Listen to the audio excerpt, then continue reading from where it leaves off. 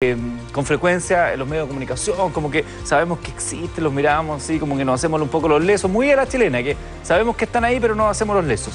Vamos a hablar de la pobreza. ¿De qué hablamos cuando hablamos de pobreza? ¿De qué manera eh, en Chile se trabaja para que menos compatriotas estén en este universo de gente que que se ven a veces como distantes, pero vamos a ver que tienen mucho más en común con usted y conmigo de lo que todos pensamos. Tenemos un panel muy bueno. Comienzo saludando al señor Roberto Fantuzzi, quien es presidente de ASEXMA. Un aplauso para Roberto, que está con nosotros. Muchas gracias. Está también con nosotros el presidente de la Fundación de la Superación de la Pobreza, Rodrigo Jordán. ¿Cómo estamos? Buenas noches, muchas gracias.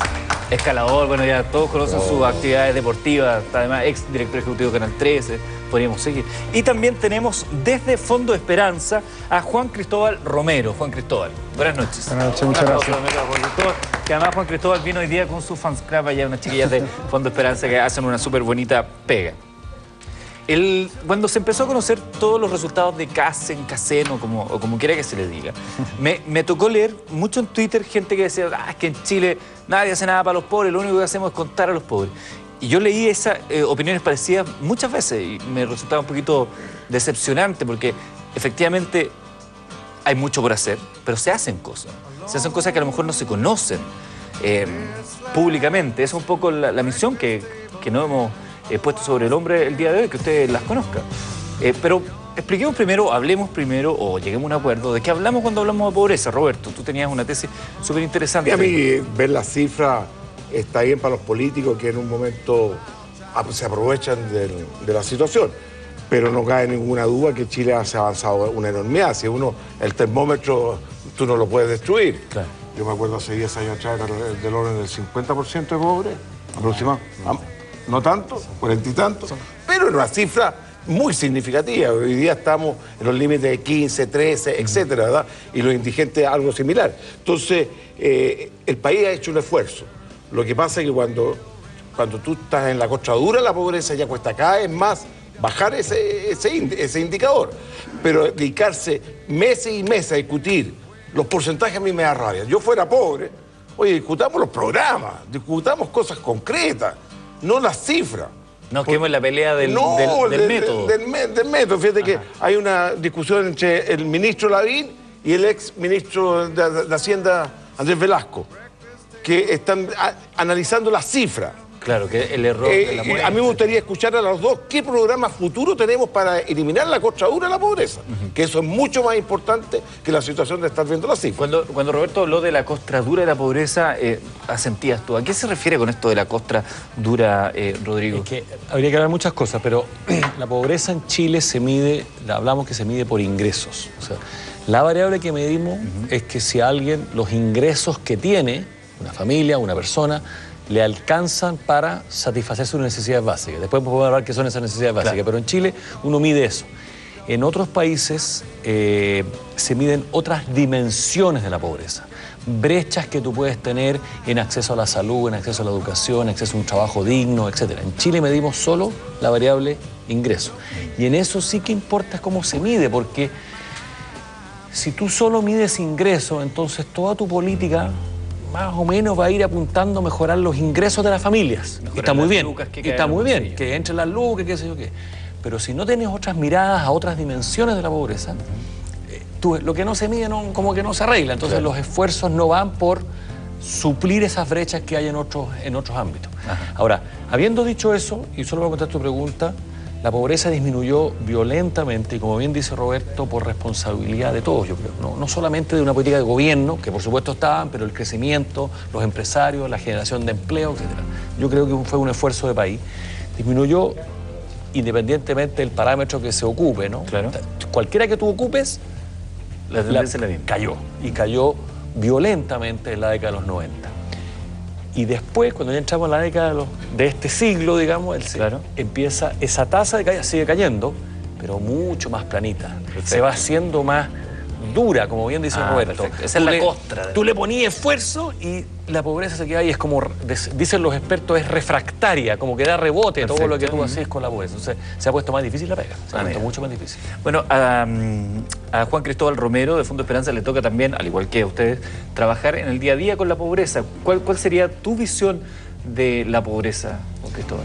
A ver, eh, poco complementando lo que, lo que se menciona acá, eh, yo creo que es una tarea muy difícil la que se viene en adelante. O sea, en un, en un país donde ha crecido al 6%, no sé, pues la, el reajuste salario está en 4%, son, o sea, hemos estado en un, en un momento bastante privilegiado del país. Eh, no ha, habido un estancamiento en, la, en las cifras de, de reducción de pobreza. Lo, lo, que hace ver que las soluciones que estamos hoy día desarrollando como país no son las adecuadas. O sea, tenemos que cambiar la estrategia. Y la estrategia que hoy día se están, eh, se están haciendo han sido básicamente eh, transaccionales, o sea, transfiriendo eh, recursos y ingresos eh, y eso aparentemente no es la solución. Eso es lo que uno ve como los bonos. Exactamente. O sea, es, una, es un tipo de solución que, es paliativa, que mitiga realmente algunos choques económicos. Fue muy importante, por ejemplo, en toda la reconstrucción post-terremoto. Yo creo que fueron medidas bien adecuadas el haber hecho transferencia económica. Claro. Pero hoy día eso es insuficiente. O sea, a lo que tiene que tender en un país como el que estamos viviendo es aumentar las oportunidades de la gente. Oportunidades. Oportunidades. Y, que, y que las y que las personas pasen a ser los actores y los protagonistas ellos mismos de, esa transformación, que tiene que, que, tienen que y, la movilización no va a pasar, movilización de, un segmento a otro, no va a pasar simplemente por transferencias económicas, de ingresos, de bonos, sino porque las personas aumenten sus competencias, sus capacidades, la productividad, eh, la, participación que también tienen en los espacios que de, desarrollo. Eh, y yo creo que en, eso, en esos ámbitos, participación, eh, competencia, productividad, eh, incluso transferencias, pero no en, no en bonos, sino quizás créditos, un poco lo que, lo que de alguna forma hace Fondo Esperanza, son vías que pueden generar un, desarrollo más sustentable de ese segmento y cambios más profundos. Eh, a lo que hoy día estamos haciendo. Perdón, eso es como la típica discusión que seguramente todos lo hemos escuchado alguna vez, que más que te den el pan es que te enseñen a hacer el pan, ¿no? Por ahí, por ahí va lo que... O, bueno, más que te den los pescados que te enseñan a, pescar. Cuidado, ah, cuidado, ahí, porque em, yo, estoy de acuerdo, pero eh, en el caso de la indigencia, acuérdate que hay dos, niveles, ¿no? Indigencia, que son los extremadamente pobres, y pobreza. Y después te voy a decir una tercera variable, pero dejémonos por ahí por el momento. Eh, cuando alguien está en indigencia, eh, eh, es, como, es como estar un poco después del terremoto, ¿no? Entonces ahí la transferencia monetaria es, importante. O sea, ahí tú querés, tenéis que recurrir en asistencia. Claro, no puede ser la solución para siempre, no puede, pero, pero tú no podías esperar a crear un mercado laboral óptimo, ¿no es cierto?, para que todo el mundo encuentre trabajo cuando tenéis un nivel de, indigencia importante. Pero quisiera complementar algo. el, no, quiero, no creo que la, digamos así, a ver, hasta el momento lo que ha habido es un, es un plan, digamos así, de protección, programas de protección social, como se llama, que es de alguna forma cubrir los mínimos sociales. Eh, y creo que para, todo el segmento de indigencia es muy importante eso. Ahora, eso de alguna forma tiene que venir aparejado de programas de promoción social. No quiero desconocer que la protección sea importante. Punto que el paso que, tenemos que hacer hoy día como país es complementar la protección social con promoción. Y voy a decir un ejemplo. Hoy día, de, hoy día Fondo Esperanza tiene 56 mil emprendedores a lo largo de Chile, de los cuales el 23% está en indigencia. 23%, que no es poco. Juan Cristóbal, mira. son personas que están desarrollando, generando sus ingresos, sosteniendo su familia eh, y, han, eh, han, han, emprendido, al igual que. Esa es la teoría Yunus, ya creo que me hables de la teoría de Yunus, pero ya que estás hablando de Fondo Esperanza, tenemos un testimonio. Ella es Patricia Carrillo. Al señor director le digo, se está escuchando por arriba, para que no hable más por ahí porque se escucha por el otro parlante. Patricia Carrillo em, nos quiso contar su historia. Es una historia de superación, de esfuerzo y cómo Fondo Esperanza le ayudó para salir adelante. Veamos.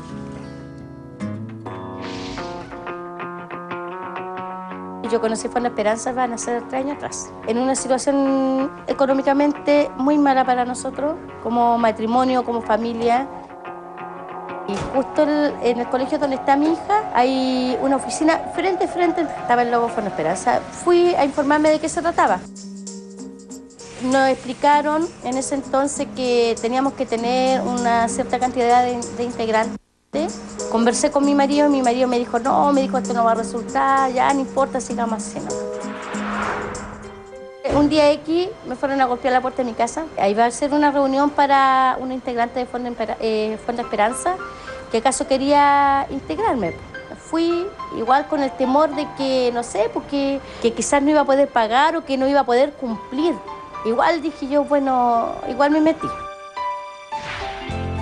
Nos prestaron un crédito chiquitito, pero para mí fue harto, porque fue el capital que yo necesitaba para salir adelante.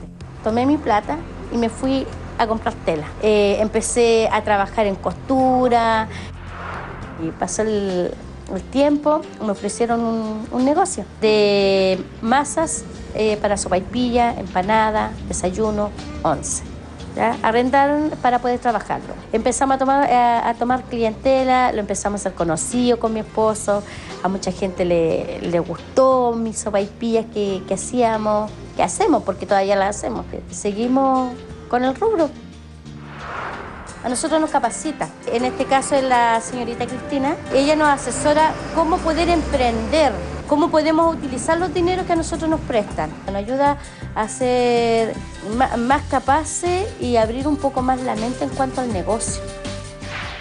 Yo trabajo acá todo el día con mis hijos.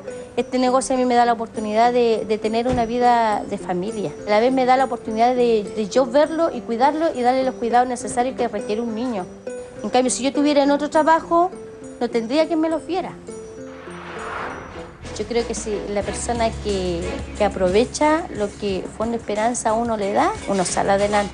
Porque no es necesario que ustedes le estén regalando todo. Yo con orgullo digo, yo tengo lo que tengo porque a mí me han ayudado. Entonces, tu sueño es así poder ser como una... Una gran emprendedora. Es decir, no sé, pues yo a la señora la conozco y la conocí con una sopa y pillita. Después decir, no, ya esta señora yo la conocí cuando recién empezó. Y ahora miren lo que es. Porque varias personas acá me dicen a mí, quién la vio y quién la conoce. yo me siento orgullosa, orgullosa y yo creo que es un orgullo como madre y como esposa y como familia a la vez.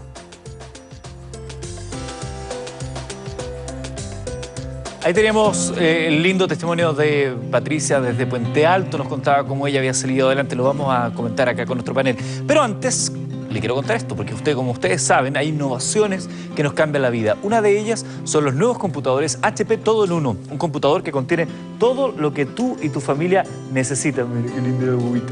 Es una gran pantalla touch, no posee cables ni torres, pues está todo dentro del monitor. Por ejemplo, acá en el programa, nosotros que somos una gran familia, ahora que tenemos este HP todo en uno en la oficina, nos juntamos a ver películas, a escuchar música, a jugar, a hacer todo lo que tanto nos gusta. Por eso es que este computador se conoce como el centro de reunión familiar. HP Touch Smart todo en uno, encuéntralo en grandes tiendas, en HP Store y hponline.cl. Por eso siempre decimos, todos para uno y uno para todos. Claro que sí, HP nos permite conversar cada noche con ustedes. Teníamos este testimonio muy lindo de una persona que sale adelante y empieza a generar el cambio. Ella decía que muchos le decían, ¿quién te viera y quién te ve? Roberto, tú tenías, querías Mira, que contar con una tesis. ese mismo eh, caso, eh, yo siempre me acuerdo de Yunus, me encanta, no sé por qué. Porque, bueno, ha, ha hecho un gran esfuerzo para derrotar pobreza. Y él asocia a la mujer con el, con, eh, con el empujón que da la familia. ¿Por qué la mujer? Porque la mujer cuando le va bien, arregla el techo de la casa, manda, manda al niño al colegio, etc. El hombre cuando le va bien, busca la segunda vieja, a veces, eh, busca otro tipo de entretenciones. Así el es. hombre tiene una conciencia distinta. Pero es verdad, si no tiene nada de malo. la mujer es el motor del, emp- Oye, del y lo otro, el esfuerzo que hace la mujer. Y, y Yunus lo, lo dice, prestándole, porque lo que hace el, el Fondo Esperanza, prestándole muy pocos recursos, la mujer es capaz de devolverlo, son excelentes pagadoras, Claro. mejor que el hombre. Entonces, la característica de la mujer es muy positiva para este caso particular de salir de la pobreza. Y él también hace una analogía con un bonsai de la pobreza. Y te traigo el bonsai porque yo cuando lo leí lo hallé extraordinario. Él, él explica que poniendo la misma semilla al aire libre, el árbol puede crecer al infinito, ¿verdad? Claro. Mientras si él lo pone en un macetero chico, que es la sociedad que lo tiene limitado, crece un bonsai. Entonces hay que romper los maceteros de la pobreza, ¿verdad? Claro. Para que de alguna manera salgan hacia arriba. Y es el mejor ejemplo. Lo, lo puedo leer, son Por dos favor, frases, adelante. por favor. Para mí la gente pobre es como los árbol- árboles bonsai. Cuando uno siembra la mejor semilla del árbol, del árbol más alto en una, en una maceta pequeña, obtiene una réplica de ese árbol, pero en pequeño, de solo unas cuantas pulgadas de alto. Ve qué importante lo que dice.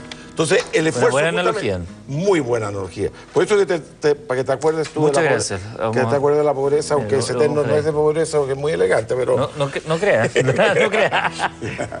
Eh, Rodrigo, em, ¿cuál es el desafío de Chile de ahora en más para eh, ayudar también a estos compatriotas? A ver, una cosa aclarar también. Pues yo te dije que está la indigencia, no sé qué son Sí, la extremada claro. gente pobre. Eh, Hablamos de la pobreza. Y pusiste una Hay alguien capa. que la gente se olvida un poco porque tenemos estas encuestas que se hacen, bueno, se hacían una vez cada tres años, después cada dos. Ahora, afortunadamente, como país las vamos a hacer una vez al año. ¿sí? Eh, y por lo tanto vamos a tener un seguimiento mucho más eh, Al callo. al callo. Pero lo más importante es lo siguiente, cuando tú haces una cosa que se llaman encuestas longitudinales, es decir, yo sigo la misma familia, la foto del 2006, la foto del 2009, la foto del 2010, la sigo, lo que encuentra, y esto es un estudio que hicimos en la fundación, es que en una medición la familia era pobre. En la otra medición no, porque el jefe de hogar o la mamá o la señora, como bien dice Roberto, había encontrado pega. Claro. Y en esa foto no era. Pero la siguiente había vuelto a encontrar, había, A perdido la pega Perfecto. y había caído en pobreza de nuevo. Entonces tenemos una cosa que los, de nuevo los especialistas llaman el ascensor de la pobreza. Lo que tú tienes es que en la década del 2000 al 2010, tomando las casenes que corresponden, un 34% de la gente fue alguna vez pobre en ese periodo. 34. Sí, pues. Entonces, cuando hoy día decimos que la pobreza está en un 14,3, 14,4, ya está en el 15%, hay gente que está por sobre esa línea, que nosotros llamamos vulnerables, que ellos sienten de verdad que son pobres, aunque efectivamente tienen Claro. las lucas para comprar sus canastas básicas, pero en cualquier minuto, ante un shock, ante una enfermedad, ante un accidente, vuelven a caer en pobreza. Entonces la gente Vulnerables. siente que son pobres casi hasta un 25, un 27% de la población. Y la única forma, y la única forma de mejorar eso es lo que dicen ustedes en Fondo Esperanza y lo que decimos todos. Eh, tiene que transformar en trabajos de calidad. ¿no? empleos de calidad, en donde eh, haya previsión, donde haya movilidad, pero donde haya previsión, donde haya seguridad social, en el caso de que pierda la pega. Si no, eh, los shocks de perder la pega son, son muy importantes. Y, y en eso Chile, en una escala 1 a 7, más o menos, ¿en qué nota estaría? En cuanto a la generación de empleos, pero que sean de calidad. Es que ahí tenía el problema porque lo- el famoso tema del vaso. Yo estoy con Roberto, hemos avanzado muchísimo ¿eh? y toma la medición que tú quieras, como te digo, hemos caído desde finales de la década del 80, principios del 90, de un 40% en pobreza a un poquito más del 14% como estamos hoy día. Eh, y en indigencia, que es lo más importante, estamos a punto de prácticamente terminar con ella, entonces hemos avanzado muchísimo. Pero si uno quiere hacer que esa pobreza sea robusta, que no quede alguien que salió pero que después tiene el riesgo de caer, todavía nos queda mucho más mucho trabajo por por hacer, que tiene que ver más con la promoción que con la simple protección. Pero Bueno- que, oye, pero que tenemos una debilidad muy grande. Para mí, mi opinión personal es la educación. La Cuando, educación. tú, cuando tú tienes un niño que sale del colegio y no sabe hacer absolutamente nada, que su productividad es casi cero, la única manera, no conozco otro sistema, es inyectarle muchos recursos a la capacitación de trabajadores, ¿verdad? Claro. Para que la persona ap- aprenda un oficio, apre- aprenda a ma- a manejar algo. Fíjate que el cincuenta y tantos por ciento de las personas no saben interpretar lo que leen. Entonces tú no le puedes dar una No información por escrito. claro. Entonces es muy difícil que esas, personas superen eh, la renovación mínima, que son 182. pero, que- además, pero además hay otro problema, que es un problema de sensación respecto de la inequidad. Que yo, También. diría, yo diría que la inequidad es un problema que se nos está colando mucho más fuerte porque antes, voy a hablar hace 15 o 20 años atrás, éramos un país pobre. Ya. Hemos progresado muchísimo. Lo que, lo que indigna cuando uno va a trabajar a, las- a los campamentos, a la gente que efectivamente todavía no tiene su casa propia, que están viviendo todas las injusticias o la inequidad, es un poco la rabia que se empieza a acumular. Porque por último, antes, en los tiempos de Roberto y mío, bueno, el que más tenía era un 125, ¿te acuerdas? Era un, no, Claro. Hoy día... Hoy se ve la brecha mucho Sí, Qué impresionante. Y eso, eso, eso genera indignación. Y eso, y eso es una, Ahí- una caldera sí, y ahí en tenemos un minuto puede estallar y puede ser terrible. Eh, muchas personas que han visto este testimonio y que quizás se quieran acercar a Fondo Esperanza, ¿cómo lo pueden hacer? A ver, hoy día, eh, para participar de Fondo Esperanza, voy a, voy a partir con los requisitos. Eh, son muy simples los requisitos. O sea, es eh, tener 18 años, obviamente, porque no podemos entregar un Claro. crédito a, a personas menores de 18 años, eh, y tener ganas de hacerlo y ojalá tener alguna actividad por más mínima que sea. O sea, nosotros, una, una señora que vende, no sé, pues bebida los domingos en el partido del marido, Perfecto, y en la cancha. quiere- en la cancha y quieren, no sé, pues, empezar a vender los, los sábados, quieren agregar empanadas. Para nosotros es un, negocio que, que- que- que es típico, es un típico y nos tinca. Y tiene que conformar grupos de crédito, que es un poco la, la- la lógica de nosotros. ¿Cómo son los grupos de crédito? Se llaman, la- eh, les llamamos bancos comunales. ¿Ya? Hoy día Fondo Esperanza tiene alrededor de 3.000 bancos comunales que son comunidades. Perfecto. Cada persona tiene un negocio independiente, una actividad independiente, y se le entrega un crédito a cada uno de ellos, pero se respaldan uno a otro en el compromiso pago y asumen una, una- una- lo que se llama cohabilidad solidaria, en donde se eh, eh, asumen esta aventura de, de- de transformarse de manera grupal Perfecto. y se apoyan.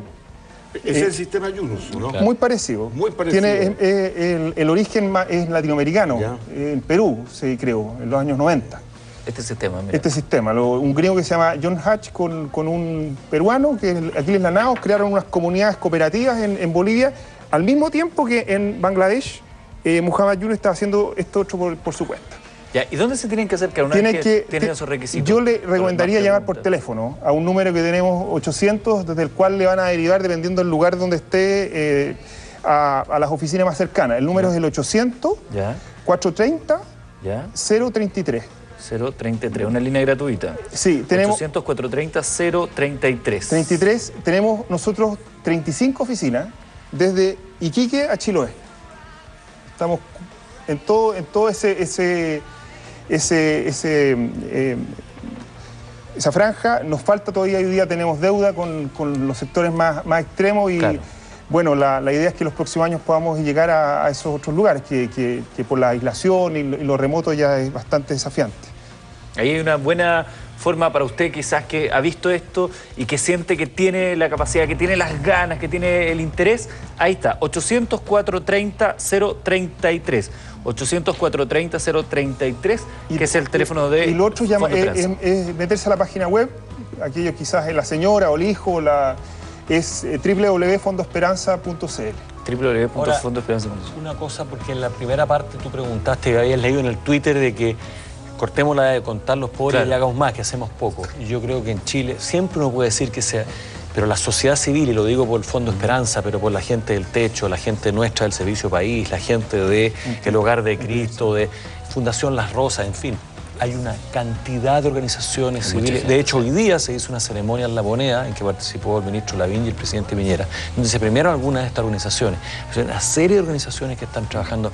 De hecho, se creó una comunidad, se llama la Comunidad de Organizaciones Solidarias. Son más de 100 organizaciones, incluso regionales, menos conocidas, tal vez menos famosas ¿no? Claro. que, que el Hogar de Cristo.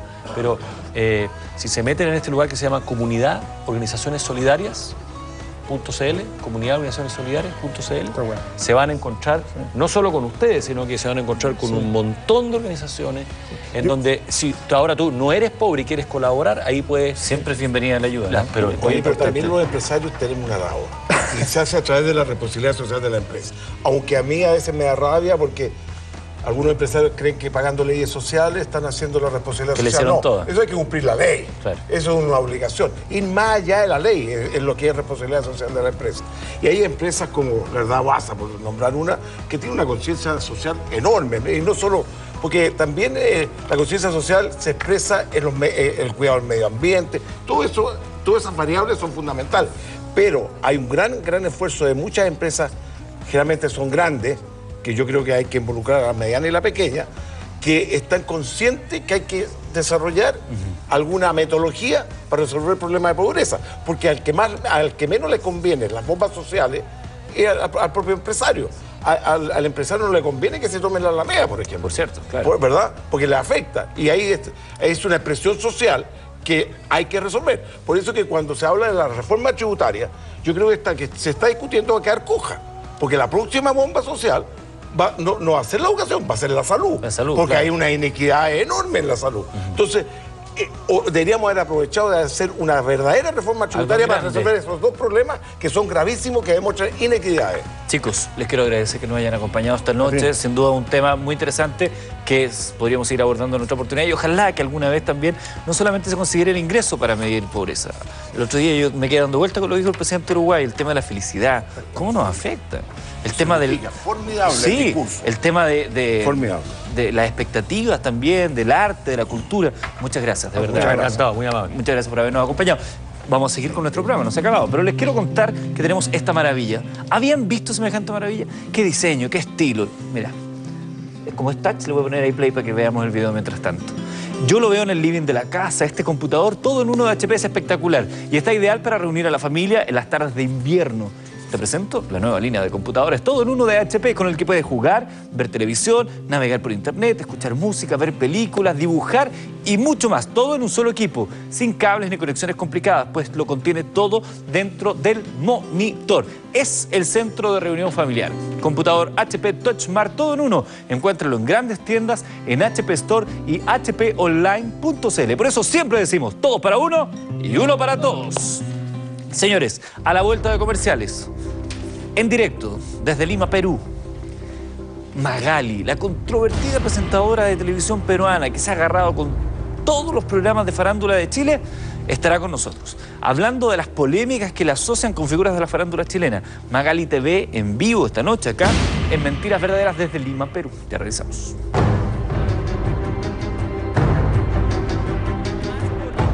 Perú. La animadora que disparó contra Pamela Díaz, Patricia Maldonado y María Eugenia Larraín. Hoy aclara todas las polémicas. En Mentiras Verdaderas, Magali Medina pedirá disculpas a más polémica de Perú. La animadora que disparó contra Pamela Díaz, Patricia Maldonado y María Eugenia Larraín. Hoy aclara todas las polémicas. En Mentiras Verdaderas, Magali Medina pedirá disculpas a las chilenas. Estamos nosotros esta noche en vivo y en directo y vamos a establecer contacto desde Perú. Allá está Magali Medina. Acaba de terminar de hacer su programa Magali. Buenas noches, Magali. ¿Cómo estás? Muy bien, ¿cómo están todos ustedes? Muy bien, gracias por aceptar nuestra invitación a la distancia para tener esta conversación esta noche. Entiendo que acabas de terminar tu programa Magali TV, así que agradezco doblemente que te hayas quedado para poder conversar con nosotros. Está bien, no hay problema. Perfecto. Espero que disparen. Pero que disparen, no, no, no vamos, aquí, no, no, no necesariamente vas a, recibir disparos, aunque no lo descartamos. Oye, Magali, eh, ha sido, ha sido semanas una broma, una broma. Han sido semanas intensas. Te, has terminado peleando con el 90% de los programas farándulas de Chile. Sí, realmente ha sido un caso raro porque esto empezó por una cuestión que a nosotros nos molestó eh, sobre los Boras y di mi punto de vista, como lo hicieron varios comunicadores en televisión peruana.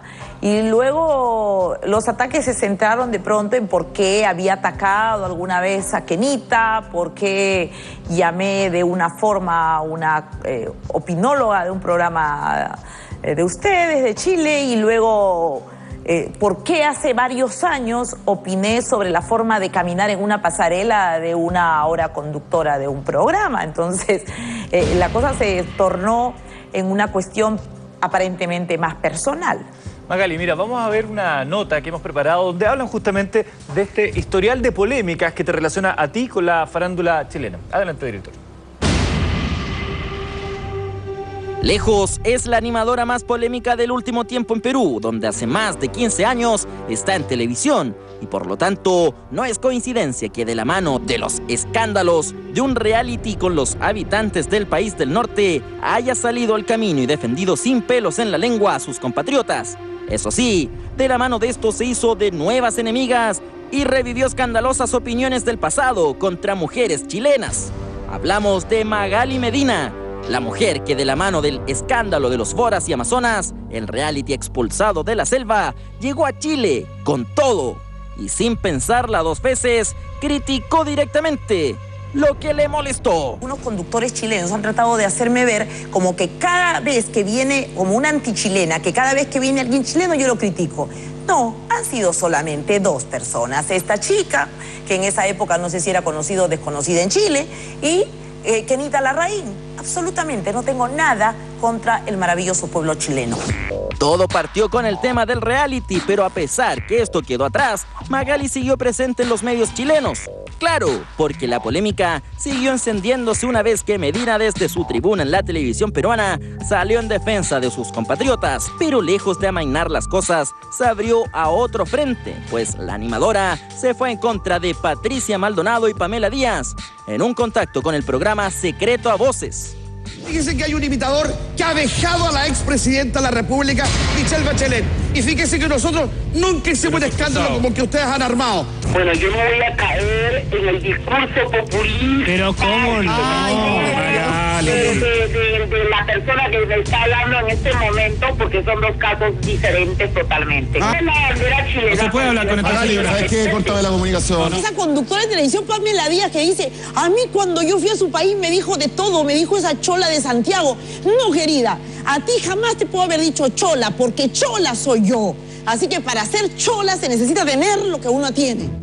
Esto además revivió la ocasión en la que la conductora criticó fuertemente a María Eugenia Larraín.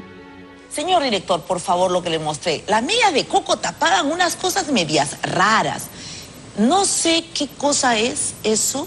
No sé si son músculos que se le han soltado y están un poco flácidos, ¿no?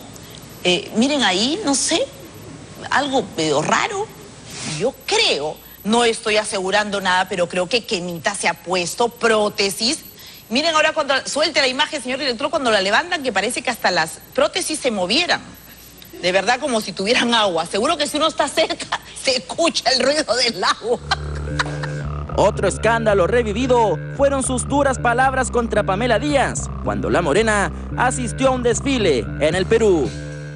¿Quién es esa Pamela Díaz que dicen que es la imagen del pisco peruano en Chile? Y que la han traído como gran, gran, gran contratación y ni siquiera sabe desfilar. Ni siquiera, mira cómo desfile. Tiene buen cuerpo y a mí que me importa que tenga buen cuerpo. Las modelos no necesitan tener buen cuerpo, necesitan ser buena percha, o sea, buen perchero, llevar bien la ropa, nada más. Por eso son, deben ser flacas. Pero esta ni siquiera tiene gracia para desfilar. Oye, por favor, hasta un ropero camina mejor que ella. Es la postura de una de las mujeres fuertes de la televisión incaica que tras sus dichos busca irrumpir con sus duras opiniones. ¿Tendrá algo contra Chile o es simplemente la postura que tomaría cualquier peruano con tal de defender a su país? Es una interrogante que ha recorrido estos días, cuando entre Chile y Perú se vive el momento más delicado en sus relaciones. Y todo por un reality truncado. Magali Medina responde estas preguntas en vivo y en directo desde Perú. Magali, eh, acabamos de ver ahí el, historial de algunas de las disputas que ha tenido con, figuras de- del espectáculo chileno. ¿Tienes algo en particular contra estas chilenas que han ido para allá o que de alguna manera han irrumpido en la escena peruana? No, para nada. Yo ni siquiera me acordaba de Pamela Díaz, por ejemplo, porque ese fue un evento pequeño y hace como cuatro años atrás. No me acordaba de su cara, pero para nada, se los juro. Entonces cuando la vi conduciendo un programa y con hablando de mí tan despectivamente, por supuesto que reacciono y digo que yo le hice a esta. Solamente imitarla un poco porque desfiló pésimo. Bueno, las susceptibilidades deben estar en algunas personas bastante a flor de piel, porque yo creo que hay que tomar la crítica de una manera alturada. La crítica tomarla bien, porque si estás en el mundo de la televisión, eres un personaje público, tienes que aceptar los comentarios, te gusten o no te gusten. Y acá en este programa, todas las personas que han venido y todas las personas que están acá viviendo de la farándula peruana, saben que mi opinión siempre es así. Además, hace muchos años que empecé en este negocio de la televisión haciendo lo que a mí me parecía que era opinar y, por supuesto, hay ahora en la televisión peruana un nuevo estilo con el que se enfocan las críticas. Hay muchísima libertad en cuanto a opiniones y creo que estemos o no estemos de acuerdo, pues todos nos respetamos. Respetamos que uno opine así o no, diferimos, pero tampoco hacemos acá cuestión de Estado por eso. Creo que estamos un poco más acostumbrados a las críticas fuertes, eh, duras, eh, irónicas, eh, llenas de, de sarcasmo. A lo que, a- que ustedes. Ustedes, yo veo que en la televisión de allá muchos programas están totalmente adoloridos por una cosa que para nosotros es muy natural hacerla todas las noches. Permí- Permíteme hacer, yo ahí hay algo que no estoy de acuerdo contigo, porque sin duda los que llevaron este tema del reality de televisión a una esfera que iba más allá del ámbito de la farándula, partió en Perú, partió Beto, con declaraciones un tanto eh, destempladas, sacando de contexto algunas cosas, eh, dándole intención a algunas declaraciones. Entonces tú dices que somos nosotros acá en Chile quienes de alguna manera hemos sobredimensionado esto, pero a nosotros nos queda la sensación de que fue particularmente Beto, a quien estamos viendo en imagen en este minuto, quien partió sacando de contexto una cuestión menor que tenía que ver con eh, quizás quizás con algunos desatinos, lo podríamos entender así por parte de, algunos programas de nuestro país, pero que no tenía mayor trascendencia que eso. Lo que pasa que viniendo de, eh, de conductores chilenos, las susceptibilidades, ustedes saben, siempre han estado un poco a flor de piel. Pero hay, hay es cierto, ustedes dijeron, desatinos. Y acá las opiniones son esas, opiniones. Yo no voy a hablar por veto, porque cada uno acá suscribe las opiniones que dice. Yo no, si bien ese es su estilo, yo tengo el mío. Cada uno tiene su estilo, yo no puedo hablar por él. Y yo no pienso ni pretendo hablar con él como les dije a otros conductores de la televisión chilena. Eso es lo suyo. Yo respondo solo por mis opiniones y por lo que yo digo. Por cierto, estoy totalmente de acuerdo contigo, tú te tienes que hacer cargo de tus dichos y no de lo que dicen otras personas, pero sin embargo va quedando esa sensación. A mí me llamó mucho la atención, por ejemplo, en algún momento ver prensa, diarios, que hablaban de una cuestión casi que era un enfrentamiento entre países, cuando realmente esto es una cuestión menor, un debate menor, en el cual, en cual evidentemente la prensa, nosotros acá en este momento abordando este tema, tú en Perú también recogemos parte de esto porque resulta sabroso, porque la audiencia tiene interés, porque genera rating, pero no es más que eso, es un espectáculo, es un show, se apagan las luces y las, eh, no hay enojos, no, no hay nada, esto forma parte de, de una puesta en escena también. Claro, claro, lo, lo- lo cierto es que hay algunas cosas que, por ejemplo, yo sí dije. Y a mí me pareció muy mal que este canal que hizo el reality Amazonas eh, llevara a uno de los Bora allá.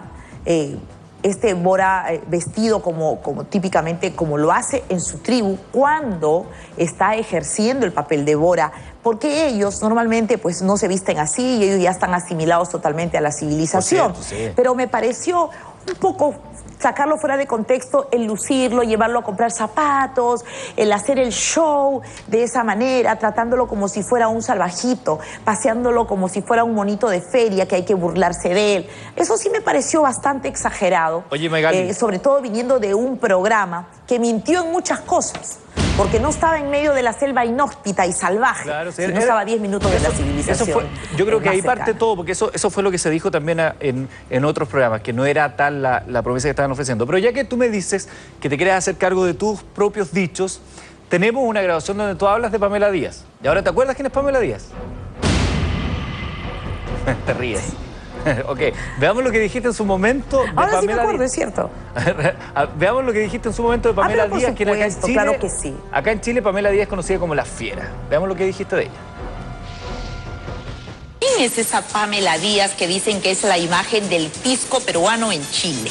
Y que la han traído como gran, gran, gran contratación y ni siquiera sabe desfilar. ¿Por qué se agarra así la- el vestido?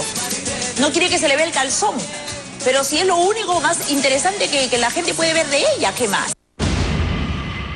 Magali, si yo te digo, cuéntame la firme, ¿tú me entiendes el concepto? Sí, claro. Ok, cuéntame la firme. La verdad es que de verdad, esa chica cuando... Esa chica, cuando llegó aquí hace como cuatro años, esa fue mi opinión en ese momento. Y para mí fue mi opinión, la di y, se- y me olvidé del asunto. Porque eso es lo que hago. Yo no voy a dormir todas las noches pensando en Pamela Díaz. Yo hago, un- hago acá un comentario, lo que me parece en ese momento es noticioso, luego me voy a mi casa, duermo tranquila y me olvidé del tema. ¿Te molestó? me lo acaban de recordar ¿Te molestó? ella misma en su programa. ¿Te molestó, Magali, que ella haya sido la embajadora del pisco eh, sour peruano? Eh, hay, hay un poco ahí como de, de chauvinismo, decir, ¿por, por qué una chilena y no una peruana? Claro que sí, de todas maneras sí, es una cuestión bastante provocadora, porque nosotros tenemos pues una disputa con que el chile, el, pisco lo consideramos un producto netamente nuestro.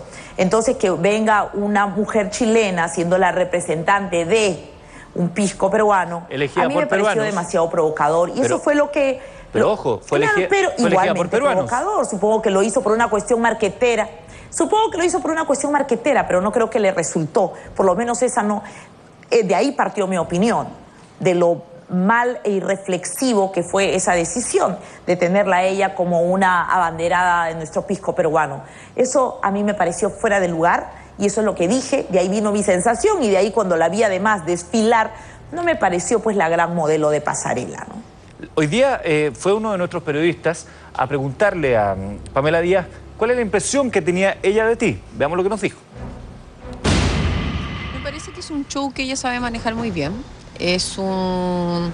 Por algo es una persona muy provocativa, a veces eh, muy poco estudiosa de sus invitados.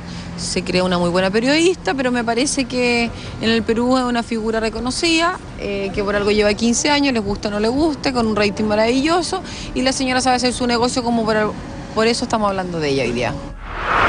Entonces este es un negocio tanto para ella como para nosotros. Yo lamentablemente en- ya con el tema de los bores y eso creo que estamos todos superados. Y ya no tengo nada más que hablar de la ñora, de la ñora esa. ¿Cómo que te parece la farándula peruana y su estilo? A mí, sinceramente, me encanta. Y creo que una de las cosas que, que tiene esta farandulilla es que nosotros todavía estamos en pañales comparado con Argentina, con España y con Perú. ¿Qué te parecen las declaraciones de la fiera?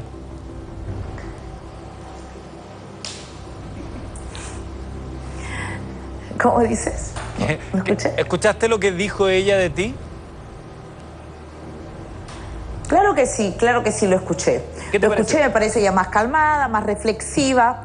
Eh, pero es cierto, nosotros hacemos un show televisivo y si a mí me provocan, pues yo soy una fiera bastante indomable. Soy una fiera tremenda también y, y no es porque a ella no sé desde cuándo le dicen fiera ya, yo acá...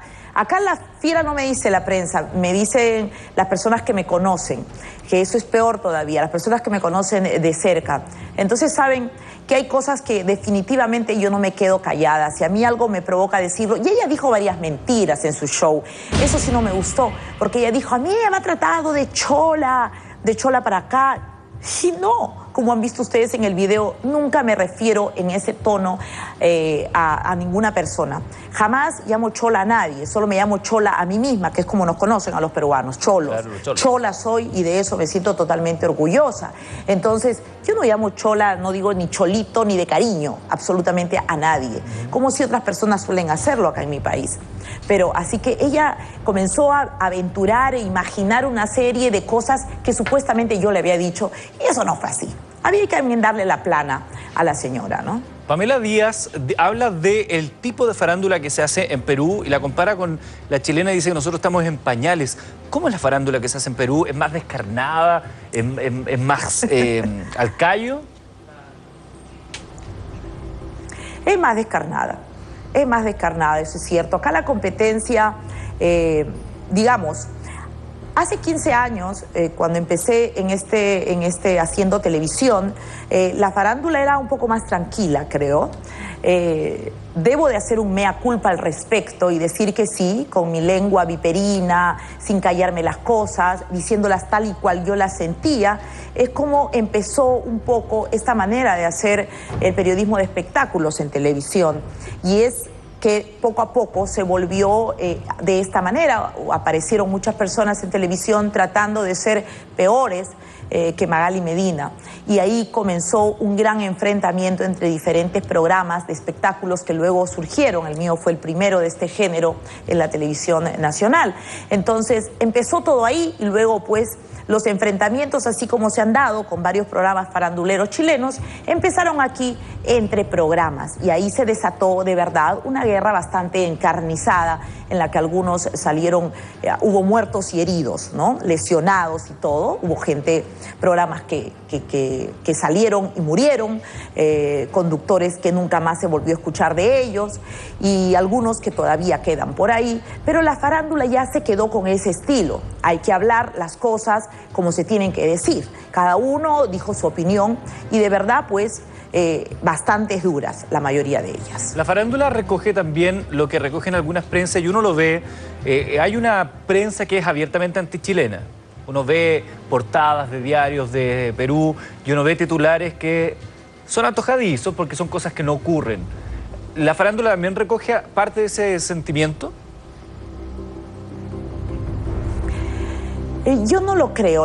Alguna farándula. Hay prensa, hay cierta prensa anti-Magali, hay cierta prensa anti-chilena, hay cierta prensa anti-todo. Pero hay que marcar la diferencia y en eso eh, sí me considero muy centrada. Eh, yo creo que no te vas a ir contra un país entero solo porque discrepes con la opinión de uno o de dos. No, yo no soy el Perú entero.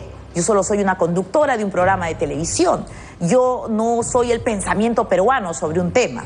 Yo solamente, como digo, suscribo mis propias opiniones. Son mis opiniones, no son las opiniones del vecino, ni son las opiniones de un grupo de peruanos, ni de todo el Perú. Y además, yo soy una peruana, no soy todos los peruanos. Y la mayoría de peruanos pues tienen de repente una opinión diferente a la mía. O sea que hay, que hay que saber diferenciar y yo creo que en este intercambio de opiniones que hemos tenido se me ha querido ver a mí como algo antichileno. No es así. Definitivamente no es así porque yo he recibido acá y muy bien a gente muy talentosa de Chile. Lo dije acá, he venido en más de dos oportunidades a Américo de Chile, por ejemplo, un talentoso al que yo admiro, un talentoso además que cantaba eh, boleros de Lucho Barrios, alguien muy querido por allá, que fue muy querido Sí, en vida pues. por allá. Y, y además, y respeto mucho, respeto a los prisioneros, soy fan de los prisioneros. Así que, y, y a muchísima gente intelectual, leo libros de, de escritores chilenos, soy una admiradora de Neruda. Yo muero por Lemebel, ese gran escritor chileno, que el que solo he leído un libro porque acá no se consigue otro que siempre he querido, por si acaso si alguien me lo puede mandar de allá de Chile. ¿Qué libro? Eh, Tengo miedo, Torero, es un libro de Perfecto. Lemebel que no he conseguido. Entonces, hay, y hay muchos más. Hay muchos cineastas chilenos que admiro. Ah, hay muchísima gente que yo admiro en Chile, personalmente. Igual acá. Conozco además empresarios chilenos, empresarios peruanos que triunfan en Chile. Es lo mismo que pasa con además los hay que peruanos, estar agradecido a una gran cantidad de compatriotas míos que, que- que están allá en Chile, trabajando, abriéndose camino. Pero eso, eso es lo que a mí me daba mucha, eh, me causa mucha molestia de toda esta circunstancia, que hace ver una pugna que en la práctica, en el día a día, porque puede que esté así como en el inconsciente de armar que no, que los peruanos, que la carrera del Pacífico, que los chilenos, que esto, que lo otro. Pero en el día a día, uno no lo ve. Acá en Chile está lleno de restaurantes peruanos y nos peleamos porque nos gusta ir a comer la comida peruana. Eh, están, hay mucha gente del Perú que viene acá y es muy bien tratada. Pueden haber excesos como en, todo- en en todo momento, pero no hay esa sensación de decir, no, los peruanos aquí fuera eh, los odiamos o qué se han imaginado, no los miramos con desprecio, no les decimos cholo en términos despectivos tampoco, por el contrario. Entonces, iba quedando esta sensación de que poco menos que éramos eh, una cuestión a punto de agarrarnos a combo y eso no existe. No, hay que ser civilizados en todo. Y yo creo que tampoco Pamela Díaz, ni la señora Maldonado, ni Kenita Larraín son todo Chile. Son solo tres personajes de los muchos que hay y seguramente los que a mí no me gustan o les he encontrado algún tipo de cosas que a mí no particularmente no me gustó y lo dije en mi estilo. Entonces, pero eso no significa que yo esté en contra de todo Chile o en contra de toda la farándula chilena, de la que conozco muy poco. Debo declararme una gran ignorante sobre la gran cantidad de programas eh, faranduleros que hay allá. No sabía ni siquiera el tipo de farándula que se hace. Así que, que tres personitas no son todo Chile. Y eso, esos señores tienen que tenerlo muy, muy en cuenta. Tienen que también dejar de lado su soberbia y decir, por Dios, están atacando la bandera chilena. No, Pamela Díaz, ni Maldonado, ni Kenita Larraín son todo Chile. Así que, por favor, acá hay gente, nosotros hemos trabajado con gente chilena acá. eh, Así que acá no hay, no hay este, hay gente que conocemos profesionalmente, gente a carta cabal, profesional, que, con que hemos trabajado incluso. Así que no, acá no estamos, no estamos eh, haciendo esto un lío personal como ellas han querido hacerlo y lo han querido llevar a, está atacando a toda la farándula chilena. No, no, no, no, no. Ellos no son toda la farándula chilena. Estaríamos bien mal, creo, en Chile. Si serían Pamela Díaz, la Maldonado y Kenita Larraín, toda la farándula chilena. Dios nos coja confesados, señores. Eh, Magali, también te, te referiste a, mm, a Patricia Maldonado. Recordemos para la gente qué fue lo que dijo Magali Medina, nuestra invitada desde el Perú, sobre Patricia Maldonado. Fíjese que hay un imitador que ha dejado a la expresidenta de la República, Michelle Bachelet. Y fíjese que nosotros nunca hicimos un escándalo como que ustedes han armado. Bueno, yo no voy a caer en el discurso populista. Pero cómo no, de, de- de- de la persona que me está hablando en este momento, porque son dos casos diferentes totalmente. Ah. Es la bandera chilena. No se puede hablar con esta señora. ¿sabes qué? Córtame la comunicación. No, no, ¿sabes lo que Córtame pasa? la comunicación. Que me parece Bueno, no que... estamos- Esa era una empanada rusa, no se podía comer con nada. Eh, día cuatro, cinco voces en el teléfono. Pensé que todos eran hombres, a excepción de la conductora de televisión. Y luego cuando he visto el video me di cuenta que no, que no era un hombre. La, eh, la, la tipa que me hablaba era una mujer la que tiene los pelos de colores. Esa, esa conductora de televisión, Pamela Díaz, que dice, a mí cuando yo fui a su país me dijo de todo, me dijo esa chola de Santiago. No, querida, a ti jamás te puedo haber dicho chola, porque chola soy yo. Así que para ser chola se necesita tener lo que uno tiene. Que como modelo caminabas horrible agarrándote así el traje. Eso tal vez puede haber sido. Pero eso lo dije hace como cuatro años atrás. ¿Qué me iba a acordar de su cara? Estas se creen importantes, desubicada, caracho, porque tiene su programa. Hay una, hay una expresión acá en Chile, Magali, no sé si la has escuchado alguna vez, que te gusta, te gusta el hueveo, ¿eh? Que en el fondo es como cuando alguien sabe que diciendo ciertas cosas como que le mete el dedo en la herida. Te- te- te- porque agarraste a Patricia Maldonado, le empezaste a decir que tenía voz de hombre, que las mechas paradas, que no sé qué.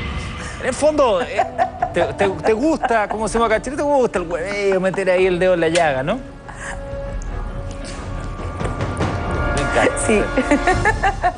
Así me encanta. Yo disfruto mucho realmente haciendo mi programa. A mí me encanta cuando me retan, no sabes, sacan esa diablilla que tengo dentro y, me divierto haciendo el programa y yo creo que la gente se divierte conmigo finalmente, ¿no? Y eso es solo mi única pretensión, es divertir a la gente. Y creo que de alguna manera, pues a la hora que, que nos ven en la noche, a las nueve de la noche, la gente llega a casa de sus casas y aburrida de, que, de los problemas y pues nos divertimos. Quien, quien, haya, quien me haya buscado la boca, como digo yo, quien me haya buscado sacar la fierecilla que llevo dentro, pues, ¿qué vamos a hacer? Tiene que aguantarse nomás. Tiene que aguantar. Acá en Chile dicen que la farándula es sin llorar. Me imagino que es lo mismo que se aplica allá en, en Perú. ¿Que la farándula qué? Es sin llorar. ¿Qué significa eso? Que si te dicen algo, si te atacan, no puedes andar llorando, sino que tienes que asumirlo si estás metido en el mundo de la farándula. Eso es lo que dicen los próceres de la farándula en Chile. Ah, pero. Pero por supuesto, nosotros decimos a llorar al río, a llorar a otra parte. Porque si estás acá metido en el mundo de la farándula, tienes que bañarte en aceite y no dejar que nada te, te penetre. Uno sabe cómo es. O sea, que si tú vas a tomártelo de manera tan personal, pues Andira, a- tendrías que ponerte los guantes de box y ir a romper un par de, ¿no? de caras ahí. Y eso no es. La violencia tiene que quedarse en un plano eh, satírico, en un plano de joda, en un plano de divertimento, y ahí nomás quedó. Se apagan las luces y, se, se olvidó la cosa, ¿no? No hay que guardar esos rencores. Yo he aprendido hace muchos años a no guardarle rencores a ninguna de las personas que me pueden insultar, que pueden hablar de mí todo lo que quieran. Estoy aquí, yo he querido estar aquí y tiene su parte buena y tiene su parte mala. Y no le vas a gustar a todo el mundo. Y hay que estar conscientes de eso, que no le vas a gustar a todo el mundo y hay que aceptarlo. ¿No te, ¿No te cuesta vivir de pronto con esa sensación de que haya tanta gente que vaya quedando herida en el camino, quizás por tus dichos?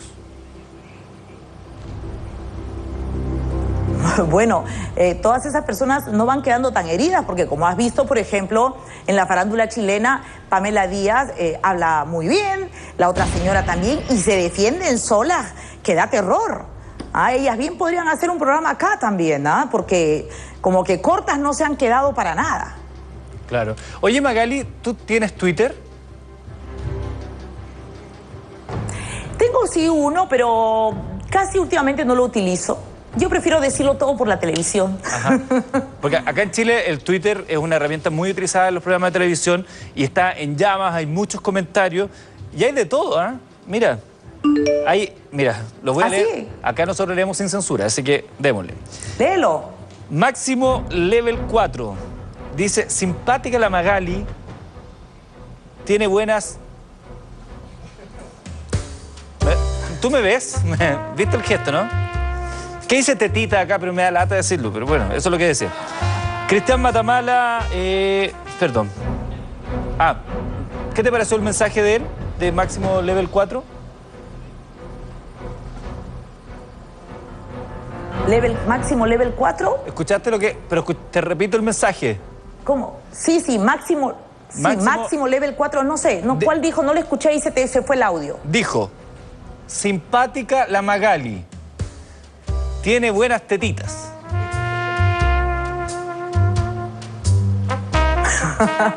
Ah, gracias. Lo agradezco. Está bien. Valen todos los comentarios en el Twitter. Para eso está. Para eso están los medios tecnológicos, que muchísima gente lo utiliza. Ve- Le damos otro Twitter. Fernando, que es arroba y guion bajo Mariani, dice, Magali, te salió sexy ese movimiento. Ese que hiciste hace un rato como de... ja, ja, ja". ¡Qué mañosos son! Están mirando otras cosas, viendo lo que yo estoy hablando. No le están haciendo caso a mi boca, le están mi- mirándome otras. Les agradezco, chicos. Un día de estos estaré por allá. Cuando quiera. ¿eh? Aquí Mitzi Riquelme dice, no es posible que le des tribuna para que ataque a nuestra gente. Bernardita 29A dice, esa señora es la envidiosa más grande, pues. Pabletix dice, igual nomás con Magali, que se venga. Arroba y García. MILF. Todo el rato MILF. ¿Tú sabes lo que es MILF? ¿No?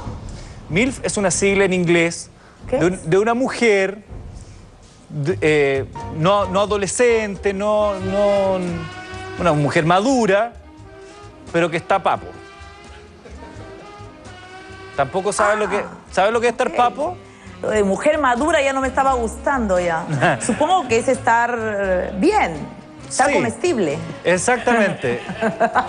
bien, bien. Está como, está como para tirarle a la sartén. Eso. Está como para, está como para meterle diente ya. Está como- En eso sí, sí. nos vamos entendiendo. Está como para hacerle una Espero que él causa- también esté como para meterle diente. No, no, no he visto la foto. Está como para una causa limeña, dicen aquí. Eh, Víctor Manuel dice, otra peruana haciéndose famosa en nuestro país a costa de cagüines, no deberías pescarla. Dice acá, eh, Lucy, que es arroba pachilla, Magali que se vaya al carajo. Quiero paz, amor y respeto para mi gente y mi país. ¡Ay, qué buena! Buena, buena. Esas respuestas me encantan. Son de verdad espontáneas. Dice Juan Carlos Avilés, dice, si Magali aspira en demasía a leer el libro, que lo busque en internet. Existe Google. Janina Dodero dice, yo y... Lo que pasa que ¿Sí? ¿Te escucho?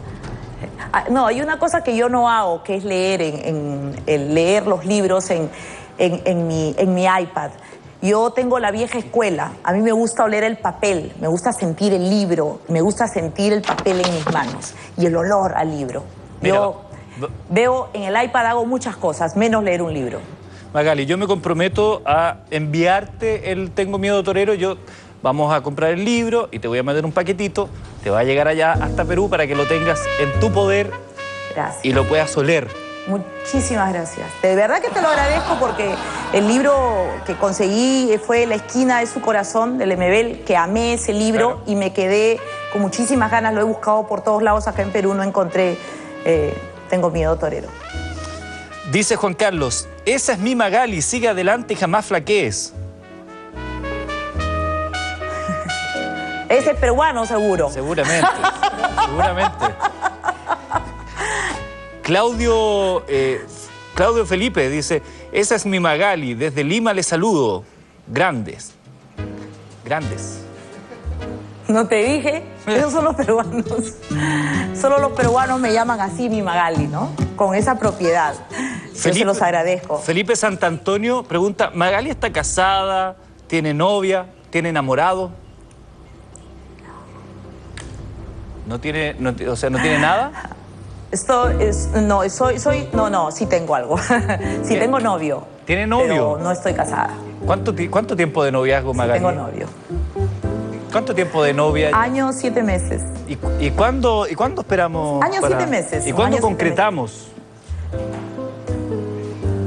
Ah, todavía, todavía. Yo he estado sola muchísimos años, entonces esta es una relación la más larga que he tenido en los últimos, la última década. ¿Se podría decir que eres la soltera más deseada de Perú? Ah, no sé, eso sí tendría que decirlo los muchachos peruanos. ¿Pero te, pero te pretendes casar? No lo sé, no lo sé. Eso sí no lo sé. No puedo ver todavía, yo soy media bruja, pero todavía no puedo ver el futuro, menos el mío. Por acá. eh, José San Martín Roa dice, la Maldonado debe estar como león enjaulado y la Díaz está igual si acá en Chile no se tragan. Eh, Cristian Ollarse, Cristian Ollarse, también califas todos por acá. ¿eh? Cristian Ollarse dice, Magali, me sorprendiste, te estoy mirando con otros ojos. Te recordaré esta noche.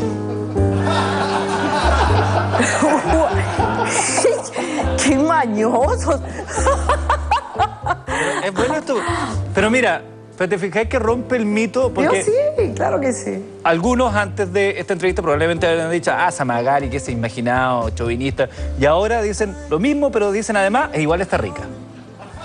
Hay un welcome. Está bien, está bien. Eso está bien, eso está bien. Lo que pasa es que ahora hemos hablado calmadamente y, y de verdad, pues, en el momento del apasionamiento, yo sí soy muy apasionada y muy vehemente para también. defender mis ideas y para defenderme yo, sobre todo. Yo también en el momento del apasionamiento pero soy apasionado. ya, Yo pues, o sea- soy cuático, de hecho. Se me fue el audio. Qué bueno, qué bueno. mejor, mejor, mejor que no me escuchaste. Oye, pregunta arroba el Sergi. Pregunta arroba el Sergi. ¿El camarógrafo no puede hacer un plano de sus piernas? Oye, pero ¿qué les pasa? Los tenían amarrados, güey. ¡Wow! Pero mira, este programa allá son las 11 de la noche y ya creo que todos están en la camita. Entonces Acá ya son las un 12 con poco, 10. eh, relajaditos y alucinando. Ahí, bien, bien, camarógrafo patinando. Acá, yo, no, yo no soy modelo, pero yo puedo. No, lo que pasa. A ver, Creo que no puedo moverme, ¿no? ¿por qué?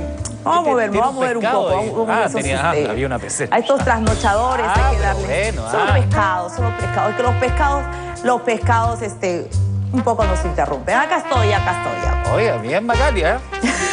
Ahí estoy, directamente. ¿Cómo Mira, dices? está bien, está bien Magali, ¿eh? Tiene, tiene bonitas formas. Ay, que hay. Se hace lo que se puede acá, se hace lo que se puede. Magali, tú, tú ves lo que está pasando acá, ¿no? Sí, tú ves lo que pasa acá. Tú me ves a mí en este minuto. Allá en Perú. ¿Sí? Sí. Sí, te veo. Ah, ya. No, te quería mostrar mis glúteos, pero no es necesario. Te veo acá en la cámara. Dice por aquí, Rodrigo Ignacio, ¿y cuándo tendremos por Chile a esta chiquilla en Mentiras Verdaderas? Podría venir un día a Chile, ¿ah? Chiquilla, como decimos acá. Esa es una gran mentira verdadera, eso de chiquilla. Gracias por lo de chiquilla. Yo sé que no se debe preguntar, pero te ves joven, Magali. Gracias. Eso me dice todo el mundo. Yo me siento una mujer muy joven, de verdad. Me siento una mujer joven. Tengo saliendo- 49 años, pero me siento muy joven. 49 años. Y de verdad, eh, ¿En serio? 49. No, pero no te ves de 49, ¿eh? sí, Mira. Yo me, lo yo, sé perfectamente. yo tengo, yo tengo 63 y, y- y no me veo tan... aj- no, no, no te lo creo. ¿Verdad? En años más cumplo 69. Un poco. Esa maletita aguanta No, no, un viaje más, tú debes sí. tener con las justas 40. Ajá. Yo, con las justas 40. Pues la vida ha Mm. sido dura conmigo, Magali. Sí. Si yo te contara un día. Por acá. La mía también, pero a veces hay que tirar todo al pasado y mira cómo uno se conserva. Porque la vida es larga y dura, por eso hay que estar siempre muy atento a lo que pasa. Oye, Magali, ¿sabes chistes? ¿Eres buena para los chistes? Soy pésima. Tú sabes que en una época yo contaba, quería contar chistes en el programa y contaba lo- los chistes que a veces me contaban mis amigos, los chicos de producción, los reporteros de mi programa. Pero lo contaba tan mal que la gente se reía de lo mal que lo contaba. Entonces yo por eso prefiero no contarlos. Porque de verdad se mueren de la risa, me ridiculizan los muchachos acá, los camarógrafos. Dicen que yo me debo dedicar a otra cosa, no a contar chistes. Quizás que. Oye, porque acá a mí me pasaba lo mismo, yo también contaba chistes y nadie se reía y después fui- me fui superando y afortunadamente ahora por lo menos se ríen dos o tres. Por eso te preguntaba, una vez te sabías algún chiste bueno y me lo podrías eh, señalar. No, no me aprendí ninguno. Hace mucho tiempo que ya no me aprendo ninguno porque de verdad nadie se ríe con mis chistes. Se ríen de mí, no de mis chistes. Oye, y ya que estamos en esta conversación, ya la gente cambió de canal, estamos conversando los dos nomás. ¿Qué te parece del hombre chileno, Magali?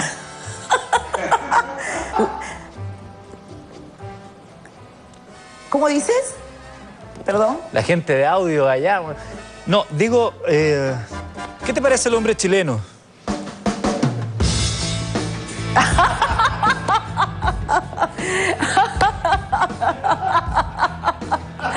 ¿Estás casado, soltero? Para empezar ahí, porque yo soy muy respetuosa. Yo no me meto con propiedad privada. Estoy, estoy casado, estoy casado, pero tengo hartos amigos parecidos a mí. Entonces.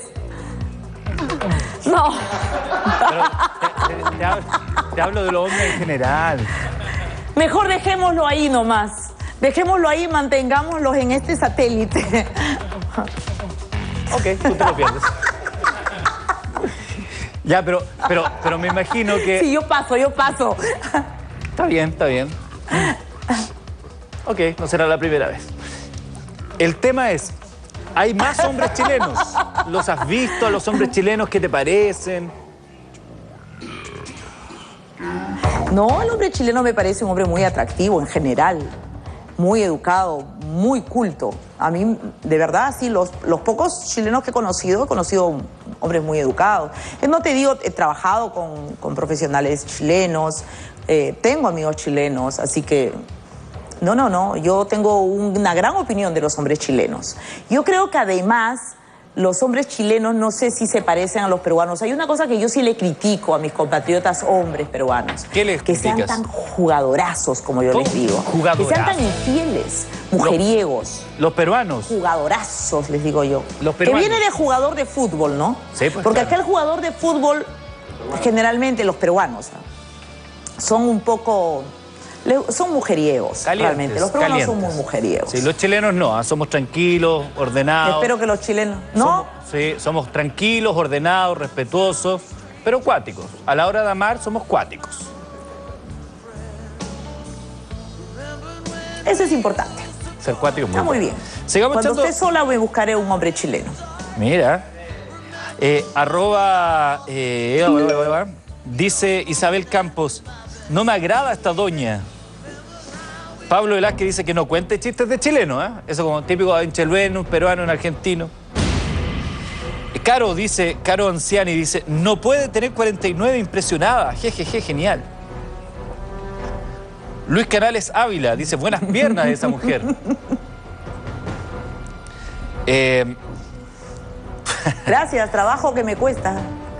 Por aquí pregunta eh, eh, Aretio. Dice, si viene a Chile, yo me ofrezco a hacerle un tour por la Plaza de Armas. Este ya... Eso es bueno saber que alguien me va eh, a hacer conocer la ciudad. Ya conozco, yo conozco Santiago. He ido varias veces por allá. Viviana Arangui se puso celosa y dice, pero ¿qué le vieron a esta dama? Después que la odiaban, ahora la aman. Suele pasar conmigo. O se me odia o se me ama. Hay que conocerte. Oye, perdón. Hay que conocerme para odiarme y hay que conocerme para amarme. Wow. Oye, eh, eh, Magali, ¿por qué te dicen la urraca? La urraca viene del pájaro, no sé si ustedes conocen. Sí, claro, la urraca Esta ave, urraca, Sí. que exacto, viene de ahí. Hace muchos años yo tenía un amigo, que ya no es mi amigo, y que solía decirme a mí y a unas amigas mías que éramos unas urracas, que siempre andábamos hablando. Y cuando yo vine a la televisión, él volvió a utilizar ese apelativo porque este muchacho se convirtió en crítico de televisión y me llamó de forma despectiva la urraca. Y yo tomé el nombre porque me pareció lindísimo, la urraca. Me pareció tan lindo que lo hice mío y me autobauticé como la urraca. Y alguien me hizo un muñeco al que yo denominé la urraca, que es un muñeco que a, la- a los niños les gusta mucho. Entonces, ahí quedó, la urraca. Ah, Porque no viene. siempre una cosa que da como agravio hacia ti, puedes tomarla tal y cual, lo tienes que convertir en algo que a ti te guste. Y yo suelo hacer eso con los insultos, con las frases despectivas que vienen hacia mí. Las Generalmente tomas- la primera en burlarse de mí soy yo. Ah, mira. Así que Oye, el lo- resto pierde piso por eso. Los últimos Twitter que van llegando. Fernando Castillo dice, Magali, muy bien, se ve sexy, simpática, hizo lo que me gustaría hacer, encarar a Maldonado. Eh, Felipe dice, me gusta eh, esta peruanita, está Arthur Rick. Y ahí está la urraca. Este es mi urraca. El medio mono. Ese es el muñeco que... Qué, qué simpático el, el- Les presento a la urraca. Nosotros, nosotros, ¿por qué no tenemos un mono acá que nos acompañe? El, el mono Cricri, por ejemplo. No tenemos platita, no tenemos platita. Oiga, eh, Magali, espérame un segundo, Magali. No, no te vayas de ahí que le quiero dar un consejo a toda la gente que nos está viendo, a todos los chilenos de corazón. Chicas, a ustedes les quiero hablar. ¿Sabían ustedes que las ISAPRES les cubre el dentista cuando están embarazadas? Claro que sí. Te apuesto que no, lo, no tenías idea de esta cuestión. Apuesto que no lo sabías. Claro que sí. ¿Y cómo caché yo? Porque una amiga mía fue a averiguar a su ISAPRE y apenas supo, pidió hora para hacerse un tratamiento y olvídate cómo le dejaron los dientes preciosos. Ahora está súper feliz, se pasea con su guaguita, con una tremenda sonrisa. ¿Viste que es fácil? No seas leso. Si lo único que hay que hacer es averiguar. Averigua en tu ISAPRE, usa tus beneficios. Las ISAPRE nos permiten conversar, por ejemplo, con Magali a la distancia desde el Perú. Magali, ¿estás ahí? Ahí estás todavía.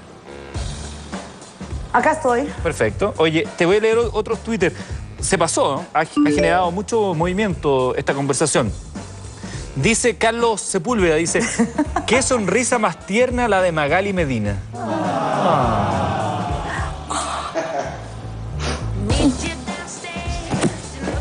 Mañana se van a reír todos los periodistas de farándula peruanos si se enteran de que alguien ha dicho que tengo una sonrisa tierna. Pablo Se Aretio van a morir del infarto. Pablo Aretio dice, apenas salga de la Fundación Las Rosas voy por ella. ¿Y qué es la Fundación Las Rosas? Es un hogar de ancianos. Dice.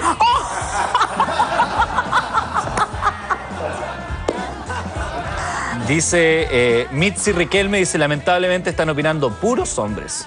Ya, Me gusta porque las chilenas se ponen celosas, así como, ¿por qué? ¿Por qué ella? ¿Y yo? ¿Y yo no? Leslie Rodríguez dice, un saludo a la familia Miranda por la televisión. Ah, y un saludo para Magali. Eso, pues, chau. Dice Carlos Lorca, ¿y quién lo odiaba?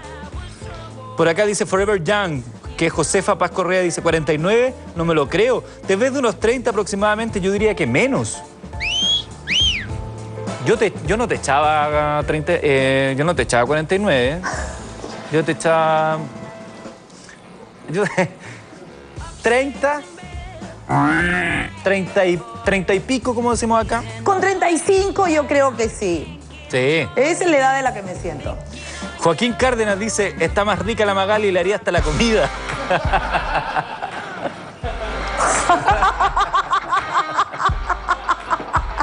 Si cocinas como peruano, encantada.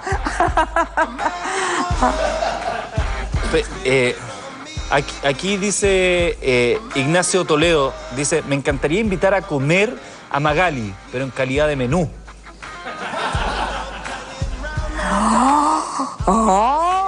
¡Oh! ¡Tremendo! Gracias, gracias. Y eso que el plano es.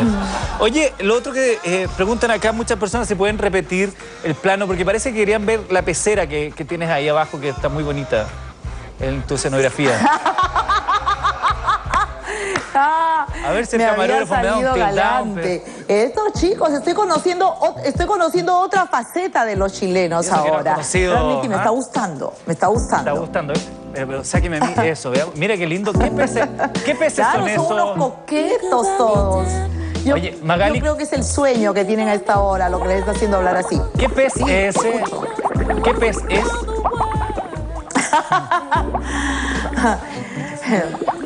¿Qué peces? Oye, me están viendo a mí como comida china, creo.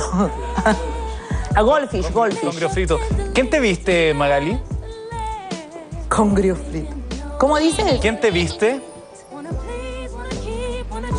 ¿Quién te viste? Sí me viste, una, una boutique, una boutique peruana, una boutique peruana. ¿Y quién te desviste? Ah, eso no puedo decir. Nosotros sabemos quién es tu enamorado. El Perú lo sabe, pero yo no lo voy a decir. Mira que somos rápidos, tenemos una foto de tu enamorado. Es él. Supongo que son rápidos. Ah, sí. ¡Uy, qué rápidos! Ah. Sí, sí, él es. Él es. ¿Cómo se llama? Sí. Alfredo. Alfredo. Alfredo La Madrid. No.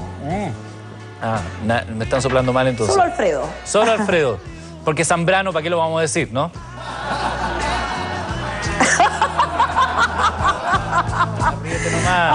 Golosa.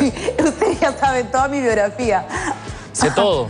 Tengo, de hecho, tengo aquí el saldo de tu cuenta del no banco.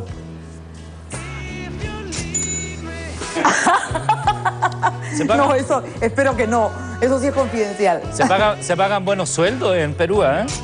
Estoy pensando en, en hacer mi carrera por allá, parece. Supongo, igual, igual que en Chile debe ser. No, yo, yo estoy viendo tu saldo y créeme que no. Mira, qué cantidad de sol. Eh, bueno, espero que esta conversación que hemos tenido, Magali, esta noche, tú allá en Lima, yo acá en Santiago de Chile, sirva para que de alguna manera fumemos la pipa de la paz y no sigan esta escalada de violencia que a nada lleva. Porque Chile y el mundo, Perú también y Latinoamérica, lo que necesita, que es paz.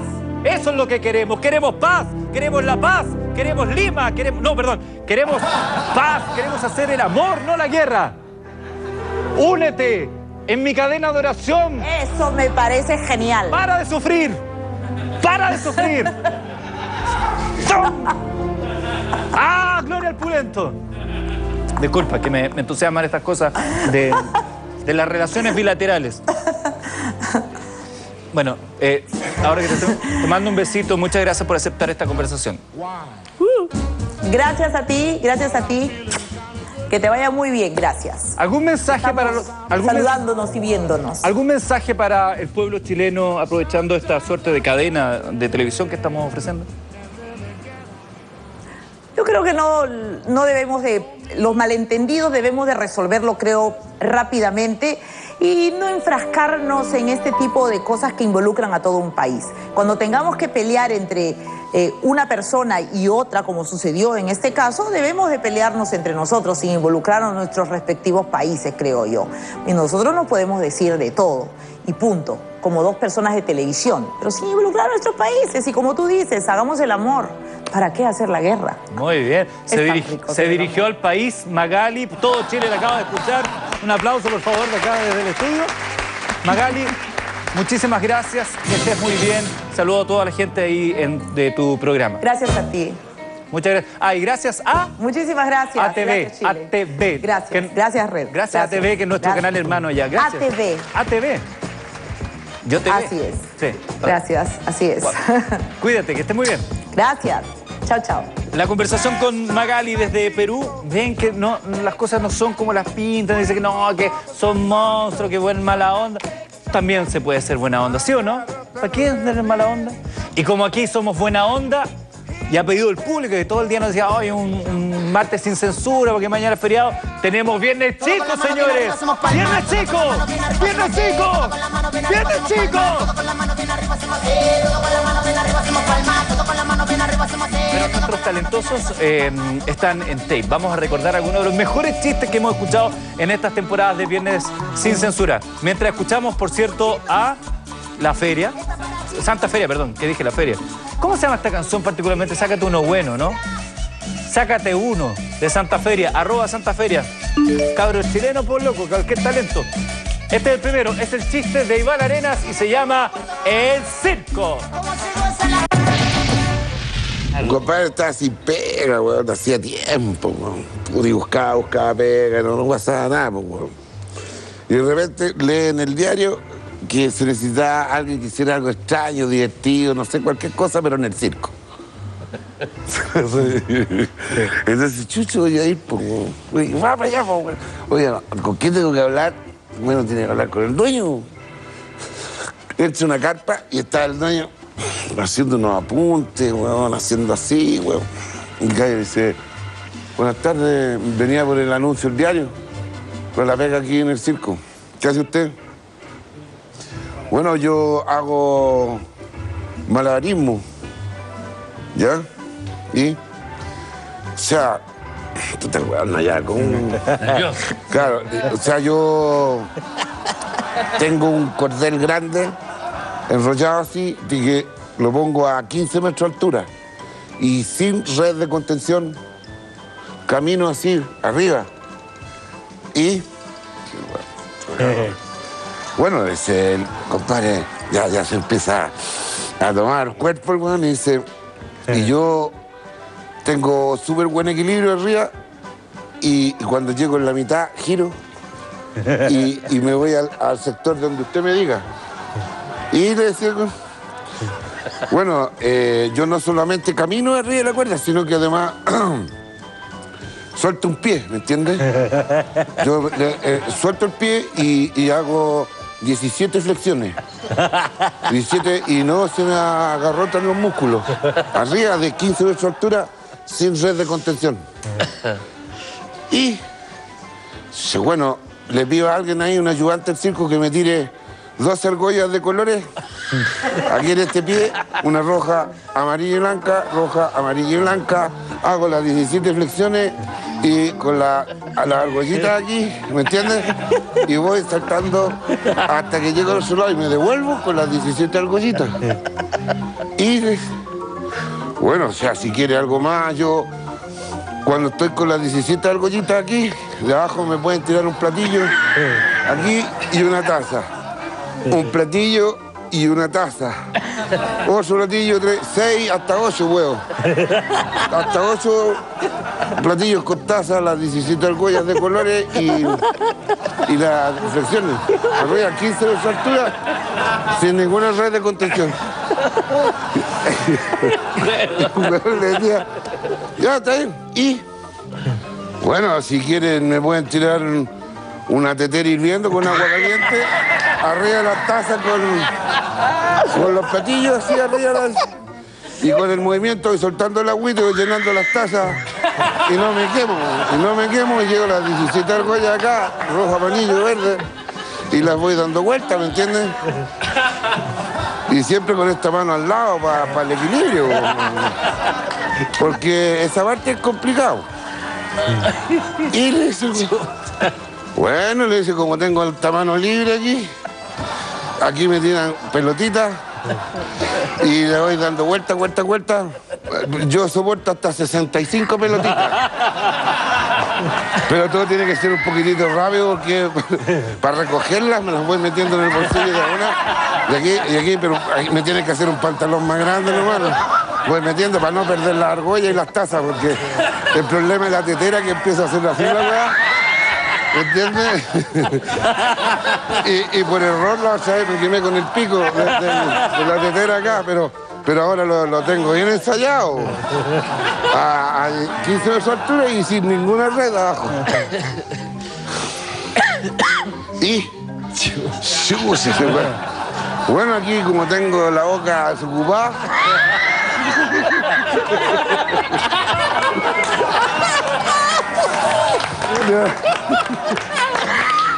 Yo le vi abajo, le vi abajo, le vi abajo que me tiren un bastón. Pero con cuidado que no me vayan a botar la argolla y no le, no le vayan a pegar a las tazas con los platillos porque la otra me botaron la tetera y ahí me anduve casi chispeando ahí con el agua caliente. Y me pongo el bastón aquí en el lado derecho. Y como puedo hablar todavía con la parte acá, le digo a, unos huevones que llevo yo, unos amigos del barrio, le digo yo, suelten las palomas. Y sueltan las palomas. Ah, y bueno, ahí vienen 15 palomas y, y se paran, se paran en el bastón, ¿me entienden? Se paran en el bastón. Y con la nariz y le hago así. Entonces, las palomas saben que cuando la- se van alternando y bailan en el medio de la- del bastón. ¿Me entiendes? Me queda aquí. Y como miren, ve que le hago así, muevo la orejita, ve que le hago así con la oreja, con el nervio, el cipriático, el nervio. Y ese con eso las ventilo porque da calor arriba la altura. La altura del circo con los focos está caliente. Entonces las 17 argollas aquí con las 15 tazas con la tetera, tengo el bastón y co- como seis y tantas y las pelotitas aquí con las palomitas, voy tirando las la- y las palomitas cabecean las pelotitas. Así. Y decía el weón, "Ay, puta, está difícil la pega, weón". Entonces, mire, yo tengo aquí en el bolsillo aquí, empiezo con el codo así, pero que no se me caigan las pelotas. Empiezo con el codo aquí y sale un ratoncito. Y se agarra aquí porque tiene la uña, no le he cortado la uña. Y se agarra aquí, no se cae a los 15 de su altura. Y se para aquí. Y de aquí adentro de aquí tengo un papel yo. Y saca el papel y un lápiz y le hace caricatura todos los que están en el circo.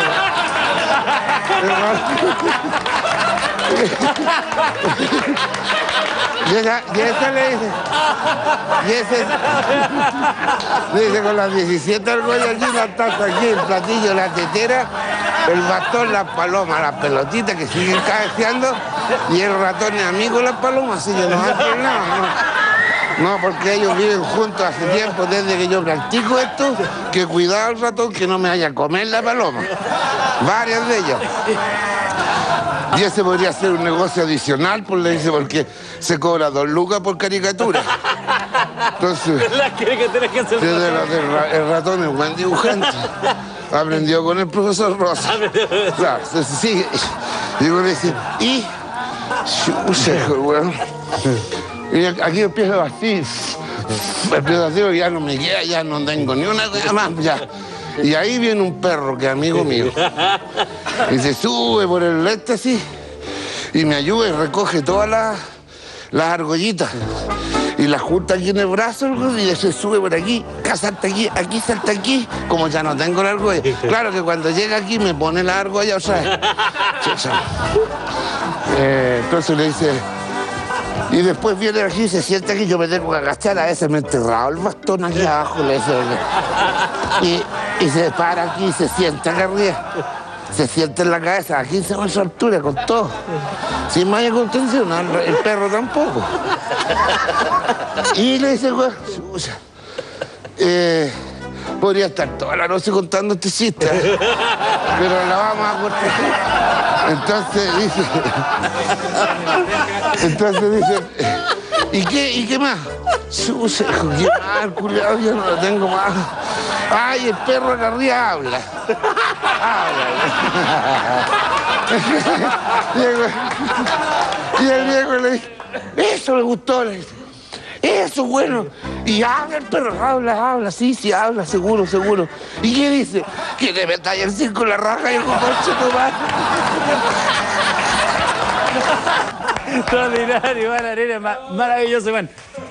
Vienen los dos clásicos, vienen los dos clásicos. Viene el chiste de la isla de los hueones y viene el cachero de las pampas con Iván Arena. Los clásicos, los más vistos en YouTube. ¿Qué está haciendo yo? Viene ahora, no se lo puede perder. Pero antes te quiero contar una súper buena noticia de la ISAPRES. ¿Ustedes sabían que se pueden hacer un examen preventivo al año y gratis, así, cero pesos? Claro que sí. Apuesto que no lo sabían. Claro, si las ISAPRES te cubren un examen preventivo al año y sin costo. Sin costo.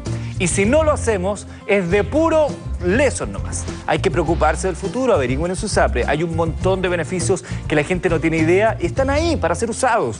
Eso es lo que hay que hacer, averiguar. Averigua en tu ISAPRE, usa tus beneficios.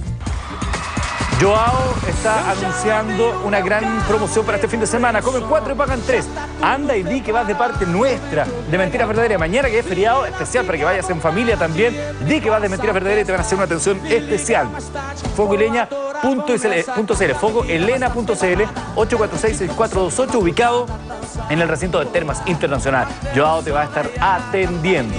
Atento Joao, porque a la vuelta de esta pausa tenemos el chiste de la isla de los huevones y también el chiste del famoso cachero de las pampas en la voz de Iván Arenas. Solo dos minutos, se lo prometo, si no, la pizza es gratis. Ya regresamos.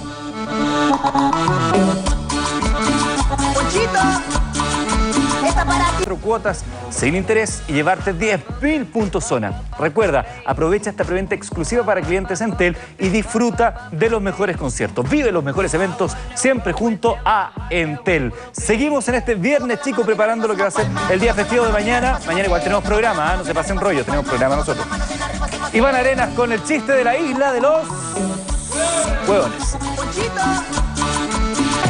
En la isla de los hueones, ay, eran puros hueones. Claro. En ese. Todos eran hueones. Hueolán. Hueón na- nacía hueón, al tiro.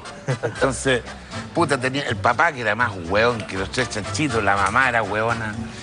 Todos eran hueones. En la isla de los hueones no había nadie que no fuera hueón. Este cabrón chico empieza a crecer como los hueones. Y miraba, miraba, weón, que todos eran hueones. weón, Y, y el saludo era nítido, claro y espontáneo. Hola, weón, hola, weón, ¿cómo estás? Bien, weón, y todos eran hueones. No se necesitaban nombre, apellidos, nada, todos eran hueones. Y este huevón se paseaba por la calle, huevones, para allá, para acá, huevón, entre medio se ponía a tomar sombra debajo de los toldos para huevones, huevón. Y el que, el que quería tomar, huevón, puta, huevón, una bebida, pedía dame una bebida para huevón, y entonces, claro, como los huevones y todo, todo era huevón, huevón, huevón. Pero huevones, pues, huevón. Entonces este, este huevón empieza, dime algo, si me quieres decir algo, ¿no? ¿No? Ya, Es que me lo está escuchando al No me revés. No, no me distraiga el profesor. Es Este es de la isla, Este de es los de la huevones. isla, sí, sí, lo mandaron de la isla. Está saludando. Se me puso un huevón al tiro. Entonces, puta, este huevón pensaba él, se miraba en un espejo que tenía en la casa para huevones y decía, puta, puta que soy huevón. Decía, pero en realidad si todos son huevones yo paso un poco inadvertido. O, o no, o yo, yo soy un huevón importante. Porque una cosa es ser huevón, decía, los otros son un ahispado. Un huevón tarado, no. Pero un huevón, un huevón simpático, un huevón agradable. Empezó a, a- a ver que habían categorías de huevones. pero dijo, yo, yo lo penca que me estoy dando cuenta que yo soy huevón, huevón, huevón. Y huevón, huevón, para más cagarla que me digan huevón, no sea huevón, huevón, a huevonado, huevón.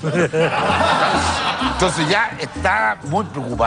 Yo no quiero ser más huevón. Pero lo mandaba a comprar el papá, que era más huevón que la cresta. Y el huevón entraba a comprar en las tiendas de los huevones. Y le daban pura guapa huevón. Entonces él decía, ¿pero por qué, huevón? ¿Seré hueón? Y se preguntaba todo el día. ¿Seré hueón? Y esto puede ser eterno, el análisis de huevón para allá, huevón para acá. Pero un día- psicólogo de huevones también. Ah, fíjate, no, todo, fue el todo. psicólogo, fue el psicólogo. Y el psicólogo era huevón también. Se le dice, ¿qué te conformes si ser huevón es bueno? Estáis viviendo en un lugar en donde hay puro huevón, así que no tenéis ningún problema. No, pero yo quiero dejar de ser huevón, ¿viste? Esa es ansiedad. Ansiedad de. Claro. No te pongáis soberbio como los es una. Entonces, bueno, a la larga, no, no había caso. Para donde pedía auxilio eran puros huevones.